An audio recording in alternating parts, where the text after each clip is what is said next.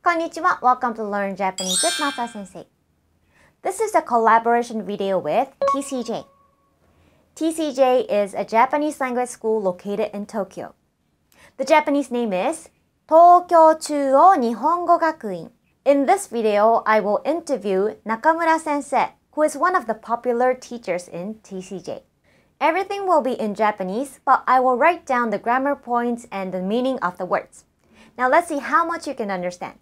Now let's go! はい、今日はですね、えっ、と、スペシャルゲストで、えー TCJ の中村先生に来ていただきました。中村先生、こんにちは。こんにちは。よろしくお願いします。よろしくお願いします。では、えー簡単に自己紹介をしてもらってもいいですか？はい。えっ、と、私、東京中央日本語学院という日本語学校で今講師をしております。中村と申します。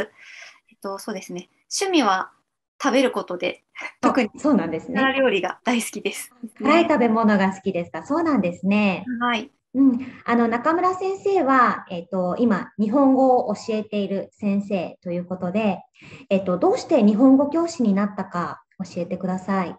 はい。えっ、と、私、大学時代にちょっと留学を1年経験したんですけども、まあ、その場所がまあ韓国というところなんですが、まあ、その時の先生がですね、教え方がもう本当にとっても上手で、まあ、いわゆるカリスマ講師の方だったんですね。おーはい。で、まあ、その先生の授業初めて受けた時に、まあ、授業がすごく面白かったっていうのもあるんですけど、うんうん。その時勉強した文法一つ一つっていうのが、なんか本当にこうスーッとこう頭とか体に入ってくる感覚があって、あうんうん。本当にすごいなって思ったんですね。うん。で、まあ、韓国って結構日本語を勉強されてる方が多いので、まあ、やはりその友人とかにこうこれなんでこうなの？とかもう教えてってよく言われるんですけどやっぱりこううまく教えることができなくってでその時にやっぱその先生に出会ったことで、あなんか私もこんな風に日本語を教えられたらいいなって、まあ、憧れを抱いて、まあ、そこで、うんまあ、日本語教師を目指すきっかけになりました。ああ、そうなんですか。はい、あの、実は私もちょっと似てる、あの、きっかけがあって、まあええ。私ももともと、あの、言語を勉強するのが大好きで、はい。で、あの、大学の時にフランス語を専攻していて、うん。そしてその後にあの中国語とタガログ語と、あと、あの私もあの少し韓国語を今やってるんですけど、あそうなんです。あの言語が大好きっていうことで、うん。あのこう日本語に関する質問をあの、まあ、友達からもらった時に、まあ、どうして私はこういろんな言語が好きなのに、なんで日本語がわからないんだろうってうん思って、それであの日本語教師を目指そうと思って勉強を始めました。そうなんですね。そうなんです。はい。ちなみに、えっと、何年ぐらい日本語教師をやってらっしゃるんですか？そうですね、今9年目になります。あ、9年目ですか。そうですか。あの、日本語教師6、9年やっていらっしゃったということで、まあ、はいいろんなエピソードがあると思うんですけど、なんか印象に残ってるエピソードとかありますか？そうですね、まあ、あの先ほどの自己紹介の時に、まあ、食べるのが好きって言ったので、うんもうちょっとはい。食べ物ネタになってしまうんですけど、はい。あのまあ以前ですね、学校で、まあ、鎌倉という、まあ、日本の有名なところですね、に旅行に行った時に、まあ、ちょっと確か入試か何かで参加できなかった学生がいたので、まあ、お土産にその大仏の人形焼きっていうんですかね。はい、はい。はい。まあ、あれを買って、まあ、後日学生に渡したところ、はいまあ。学生にすごく怒られまして、あら、先生、か？ブッダは食べてはいけませんと。これ、大仏のお店で買ったのになと思いながら。ああ、そうなんですね。あ、じゃあその生徒は、まあ、仏教の、そうですね、生徒だ仏教徒の、はい、学生さんだったんですけど、はい、はい。そうですね、私たちからしてみれば、もうお土産という感覚だったんですけど、まあ、仏教徒の学生からしてみたら、ちょっととんでもないことだったんだなっていうのを思いましてああ、なるほど。まあ、宗教の問題はね、うんいろいろありますけどね、私たち日本人でも、まあ、わからないことたくさんありますよね。まあ、同じ仏教徒、まあ、仏教徒が多いと思うんですけど、それでも、まあ、国によっていろいろルールとか違いますもんね。そうですね。なうので、ん。まあ、日本語教師ってやっぱこう語学とか、まあ、文化を知るって言ったところっていうのは、まあ、皆さん結構意識されてたと思うんですけど、その宗教とか、まあ、またそのさらに背景とか、国によっても全然違うっていったところを知るっていうことも、まあ、改めて大切なんだなっていうことをこう実感したエピソードでしたね。ああ、そうなんですか。なんかこう、授業の中で、あの、印象深いエピソードとかってありますか？そうですね。授業の中だと、うんあの、まあ、結構こうお話をするような授業を取り組んだりとかするので、あの、ロールプレイとかっていうのを結構やったりするんですけど。まあ、あそこで必ず面白い、なんかそのロールプレイのカップルっていうのができる そうなんですけど、へーそこで、そうですね、すごく印象に残ったのが、こう写真を撮らせてくださいっていう、まあ、お願いをするっていうロールプレイだったんですけど、はいはい。まあ、なんか途中から本当のナンパみたいな状態になってしまって、ああ、なるほど。じゃあ男の人がこそう女の人を誘うはい。感じですか？で、あの、なんか、最初断ったら、いや、お姉さん、本当に可愛いですから、お願いします、みたいな。怪しい。1万円あげますとか言うあ怖いですね。それは怖いですね。ちょっとどこでこんなこと覚えたんだろうと思いながら。あ、それは面白いですね。よかったですね。はい。あそうなんですねはい。ものもありました。なるほど。やっぱ TCJ さんは、こう、毎日、あの、同じクラスで、こう、みんな、あの、顔合わせをしてるので、まあ、生徒同士が仲いいっていうところもあるんですか？はい、そうですね。あの、大体うん1年ぐらいは同じクラスに在籍していることが多いので、ああ、そうなんですね。で、もうそ毎日う、んあの、授業があるんですか？はい、そうです。月曜日から金曜日まで毎日授業があります。そうですか。そうなんですねね。あの、私が教えてる学校は、あの、逆に週に1回だけなので、まあ、あの、みんな社会人で、まあ、あとは学生で、それで、あの、1週間に1回だけ、あの、日本語の授業を取ってるっていう形なので、まあ、そこまで、こう、生徒同士が仲良くなるっていうことがないので、なんかあまり、こう、私、エピソード考えてみたんですけど、あまりなかったんですよ。あ、そうなんですね。そうなんです。でも、あのですね、あの、アニメ好きの生徒が多くてですね、はい。あの、まあ、アニメを見てるから、まあ、ちょっと普段使ってる日本語と違う日本語を使うじゃないですか。はい。だから、あの、あなたっていうのを、お前とか貴様って言うんですよ。で何回、何回直しても、あの、お前と貴様って言うので、はい、ちょっとあの、それが、あの、面白かったエピソードですね。面白い、確かに。急に貴様って言われたらびっくりしますね。びっくりしますよね。そうですね。まあ、それ、あの、こう、アニメを、あの、見てる、あの、学習生は、ちょっと気をつけた方がいいですよね。まあ、結構、こう、日常の日本語とアニメの日本語って結構違いますよね。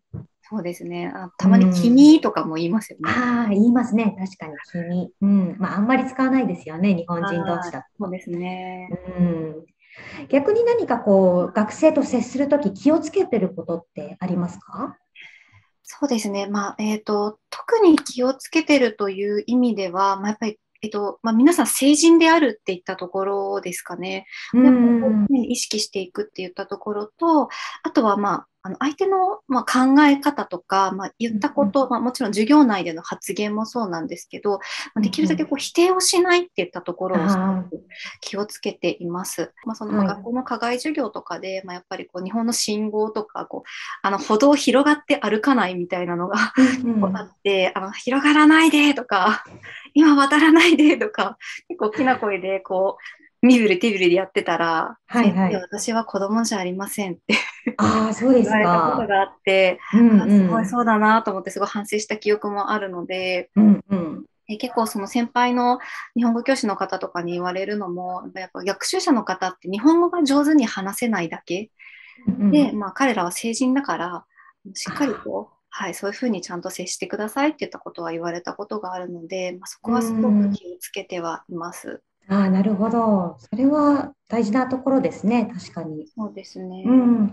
あと最初におっしゃってた、まあ、否定しないっていうのはいは、私も、あの、とても大事だと思ってます。やっぱりこう、モチベーションを維持するのって大変ですよね。語学学習する上で。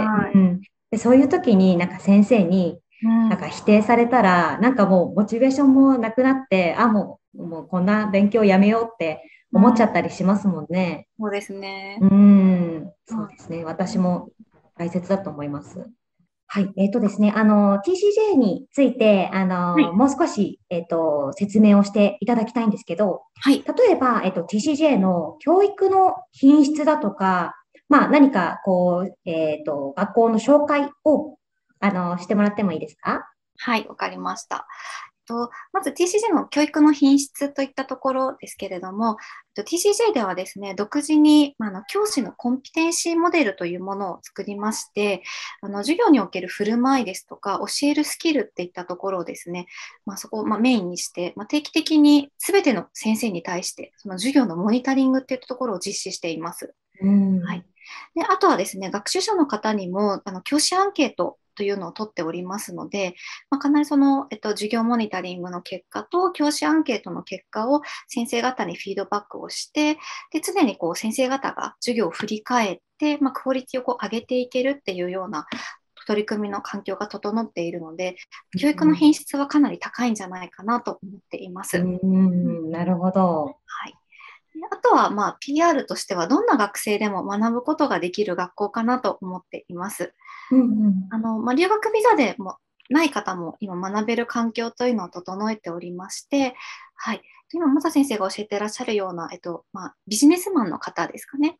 うんうん、もう今、夜間に週に2回っていうようなクラスもあったりですとか、はい、あとはまあ午前と、あとはまプライベートレッスンっていったところも今、充実をさせていますので、はい、で海外からもですね、直接オンラインで受講されてらっしゃる方も、はい、同じクラスでですね、日本にいる方と海外にいる方が一緒に学習されてらっしゃる環境もあるので、うんうんうん、はい、なんでも今、留学生じゃない方でもう200名近い方が在籍を、はい、していますので、やっぱその点もかなり、うんうん、あの PR にはなるかなと思っています。で、まあ、あの、その、インターネットで学んでる人たちも、まあ、同じように質問したり、そのまま、はい、えっと、まあ、直接オンラインで、えー、授業を受けられるということですね。はい、そうです、そうです。あそうなんですね。まあ、授業の、まあ、教室の様子を撮ってるカメラもありますので、あの、オンラインの人たちも教室の様子を見ながら、進み具合とかも確認できますし、うん。やっぱ休み時間はこのインターネット上で会話をしてたりもしてて、あ、そうなんですか。まあ、日本にもいろいろ日本語学校ってあると思うんですけど、TCJ が他校と違うところっていうのは、どんなところだと思いますか？そうですね。まあ、一番違うというのは、やっぱここが大きく違うかなと思ってます。やっぱり日本語学校ってなると、どうしてもまあ留学生の方がメインの学校で、まあ、そこにまあ少しこうちょっと在日の方とかがいらっしゃるっていうイメージなんですけど、ここまでしっかりと留学生じゃない方も学べる環境があるっていうのは、他校様とは大きく違うのかなといったところではありますね。うん、あそうなんですね。はい、えっ、と、TCJ を卒業した学生っていうのは、どんなところで働いたり、または他の進路があったりするんですか？はい。まあ、今まで、まあ、留学生の方が基本的にはメインの学校ではありましたので、まあ、やはりその進路としては、まあ、大学院や大学、まあ、専門学校っていったところがメインにはなっていました。うん。で大学院や大学ですと、えっと、毎年ですね、まあ、あの国立の有名な一橋とか、筑波とか、まあ、あと G マーチ、早稲田総計などですね、といったところにも多くの学生が進学をしておりますし、まあ、大学院はあの本当に東京大学とか京都大学の大学院にも進学した実績っていったところも残っていますので、そういう意味では進学実績っていったところもしっかり残っています。はい。あとはそうですね、就職といったところは、まあ、すごく幅広くありますので、あれですけど、そうですね、有名な一般企業とか上場企業っていったところにも就職されている方もいらっしゃいます。そうなんですね。そういったあの大学に行く手続きだとか、まあ、面接、会社で面接をするにあたっての練習だとか、そういったところもサポートされてるんですか？はい、もちろんされしています。はい、えっと、そうなんですね。はい、基本的にはクラスの担任がですね、進路指導といったところも受け持ちますので、まあ、大学院、大学に必要な、まあ、論文とか、研究計画書とか、まあ、そういう書き方から、まあ、就職に関することも面接ですね、まあ、練習っていったところもしっかりさせていただいているのと、はい、あとは、えっと、試験対策っていったところも、はい、あのしっかりと授業の中でも取り組んでおります。うん、そうなんですね。なるほど。あの、TCJ さんの、あの、授業の内容について、あの、一つお伺いしたことがあって、はい、あの、哲学とか、そういったトピックスを取り上げた授業があるっていうのを聞いて、まあ、面白いなと思ったんですけど、どんな授業ですか？はい、えっ、ー、と、ソーシャル授業と呼んでるんですけど、私たちのまあ、ちょっとこう学習理念として、まあ、コミュニケーション能力を伸ばしたいって言ったところで、まあ、コミュニケーションってやっぱり相互理解になるので、その留学生、まあ、あの日本で学ばれている方にとって、まあ、日本という異文化にどのように適応していけばいいのかっていったところを、まあ、目的とした内容なんですが、まあ、そうですね、哲学。結構いろんなジャンルに分かれていて、ちょっとこう、はい。難しい、扱いづらいお話なんかもあって、例えば、まあ、ジェンダーの問題とか、うん。あとは、えっ、と、そうですね、まあ、さっきのあれですけど、食の問題、例えば、クジラはあ食べていいかどうかとか、ーあー、なるほど。はい、あとは、そうですね、哲学だと、本当の幸せは何ですかとか、なるほど。へえ。それはもう日本人でも、あの、話すことが難しい内容ですよね。そうですね。まあ、そこで、まあやっぱりそこを話す上で、お互いの文化の背景っていったところも絶対出てくるので、うん決してその自分を貫くとかっていうことではなくて、まあ、相手がどういう考えを持っていて、で、私はこういう考えを持っているんだっていうことを、まあ、自分のことを客観的にこう理解をして、うんうんそしてお互いをじゃあ歩み寄るために、理解するためにはどういうふうに伝えたらいいんだろうとか、うんちょっとそういうところをこう学ぶような、はい。はい、目的を持った授業にはなっています。なるほど。いいですね。ぜひ、あの、今度参加させてもらえたらなと思います。はい、ぜひ。うんはいはい。えっと、じゃあ、あの、今日はここで、えっと、終わらせていただきたいと思います。はい、中村さん、本当にお時間いただきありがとうございました。ありがとうございました。はい、ではさようなら。ははい、ありがとうございます。ーい。 How was it? How much did you understand? Personally, I learned a lot from Nakamura sensei. It was very fun to listen to her experience. Due to coronavirus, there are many people who cannot travel to Japan right now. However, TCJ has online lessons that everyone can join from all around the world, together with those students who live in Japan. Not only do they have normal grammar lessons or conversation lessons, they also have a class called social class. During this class, students can talk freely about some topics like gender or philosophy, etc. So I think this is quite interesting. In the future, I will be joining these classes and show you how it looks like. If you are interested in TCJ, the link is in the description box below. Thank you very much TCJ for this opportunity and especially for Nakamura sensei who shared her episodes today. This is all for today. If you have any questions or comments or requests, please also write it down in the comment box below. ありがとうございました。バイバイ。